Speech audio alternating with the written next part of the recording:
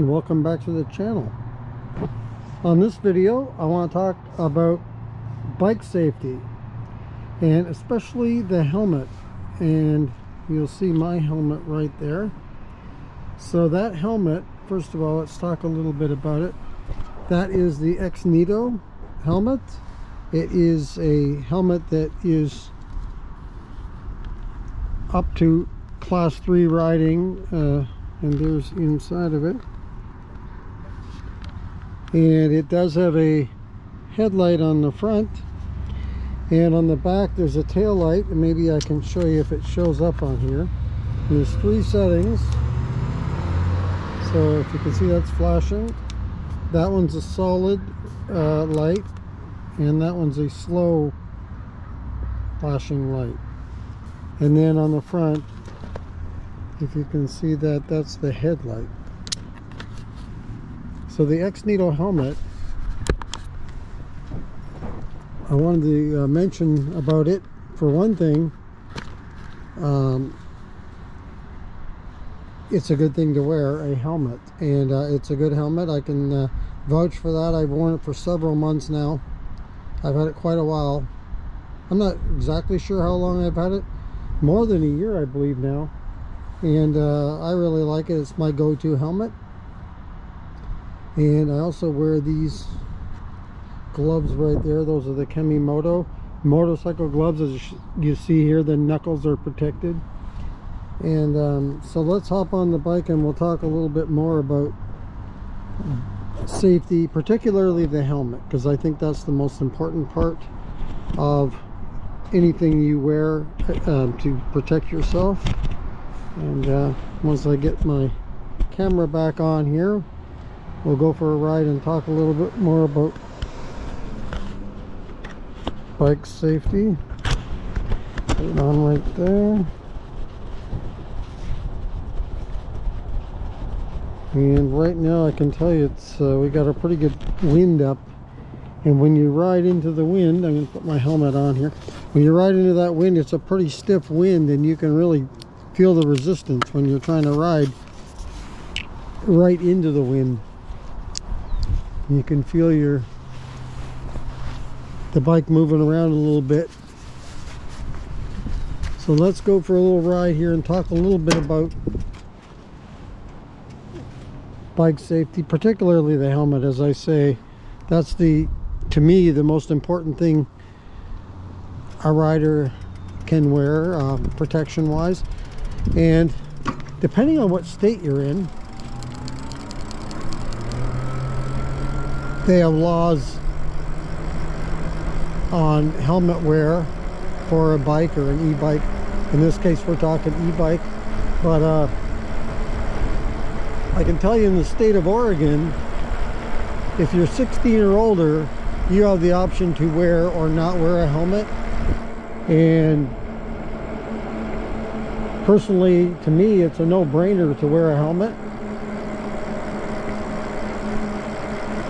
and there have been a few times when I didn't wear a helmet and that's only because I forgot to wear it. You know I get going out and I think wait a minute I forgot my helmet. I think we've all probably done that a few times and so other than that very few times that that's ever happened. I usually remember to put my helmet on. And one thing I wanted to mention I when I showed the uh, helmet uh, this helmet doesn't have it, but you can buy the Xnito helmet with the liner. So in the winter, if you're riding, it'll protect you uh, more from the cold. I don't have a liner in my helmet, and I'm just wearing a toque. But might be a good idea. I believe the liner is an additional $25. And I wanted to mention about the helmet as well that Xnito now has dropped the price of their helmets. They used to be $150 and they've dropped it down to 129 now. And I do have a link in the descriptions uh, and an affiliate uh, code which will get you 10% off additional off that 129 so it'll bring it down to think it's 116.10 so not bad. It's a, it's a nice helmet. It's got that nice retro look. I kind of like it. It comes in several different colors. So uh, if you want to go check it out.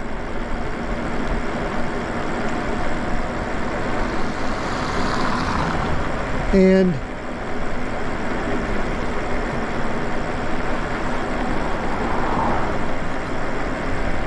I also wear, and I haven't worn it for quite a while, and I'll tell you why shortly, but uh, a motorcycle helmet. I do have a motorbike helmet that is DOT approved, and I can leave a link also for that. I purchased that on Amazon, and at the time I purchased it, which was about, I'm to say, around two years ago the price was only $65 and I gotta tell you it's a really nice helmet. Um, it's a full full faced helmet.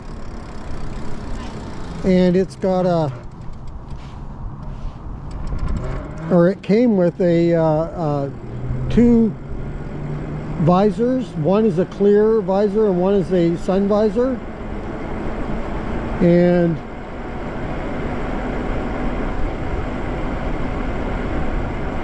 It comes in a few different colors and sizes too, so you got to make sure you get the size you want.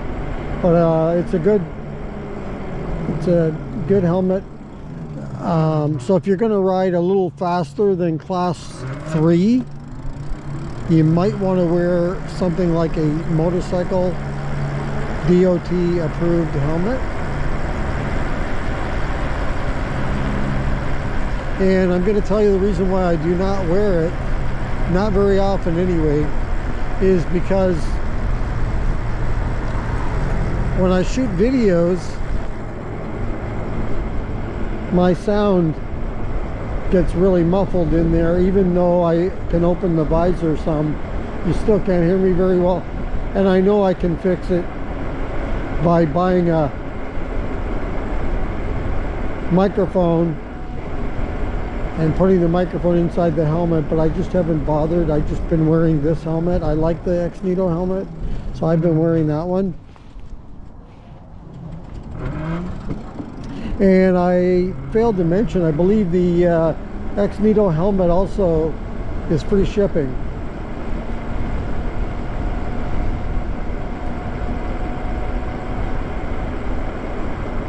Uh, maybe in the comments you can let me know some of the things you like to wear to protect yourself.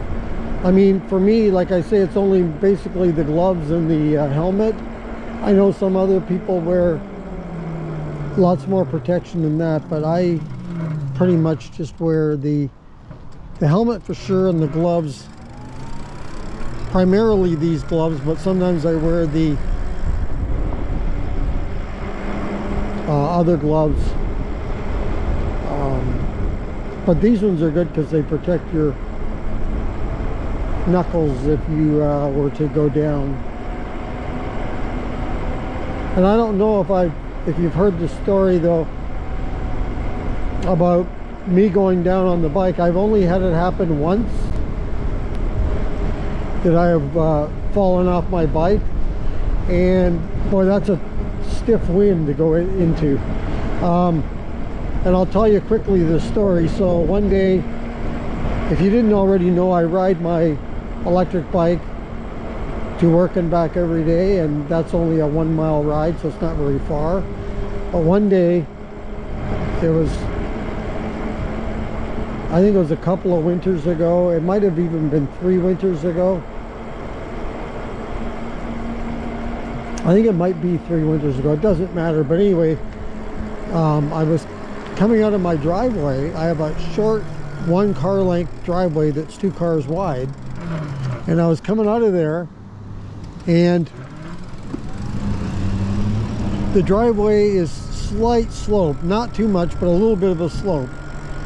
And I was coming out of the driveway with the bike and I, I should tell you the bike I was riding at the time was the Rad Rover. the Rad Rover 4, uh, my first electric bike, and it was icy out there, and I didn't know it was icy. And so when I got, and I was just coasting out of the driveway, you know, down the uh, little slope, not much of a slope, but a little bit of a slope that gets your uh, speed going a little bit, you know, gets the bike moving. And I'm turning to go onto the road as I'm going down my driveway. And, and this is at about 5.15 in the morning. It's dark outside, you know, at that time. And the rear end of the bike slid out from under me and uh, the bike went sliding and I went off the bike. Um, I think my knee or my leg hurt a little bit, but I just got back on the bike and away, away I went to work. But I mean, it didn't hurt me enough to cause any problem and the bike was fine. But uh, that's the uh, one and only time that's happened and so that's one one of the reasons there's a million reasons why you should wear a helmet. And thank goodness I didn't hit my head. And if I did I had the helmet on and I was going slow so I would have I think been protected enough with the helmet. This helmet like I say does up to uh, a class 3 protection for uh, 28 miles per hour so. So anyway that's my one and only wipeout so far. Thank goodness and it wasn't much of a wipeout like I say I wasn't going very fast at all but still I did go down and the bike did go down for a slide. So if you want to share any experiences you've had um, having an accident like going down and maybe the helmet protecting you uh, or whichever apparatus you wear let us know in the comments below. And hey thank you for tuning in on this episode and we'll be back with another video on the channel. If you like this video hit the thumbs up. If you'd like to subscribe to the channel please do hit that subscribe button. And if you want to be notified as to when the next video comes up on the channel just hit that notification bell and you'll be notified. And once again thank you for joining me on this one and until next time see ya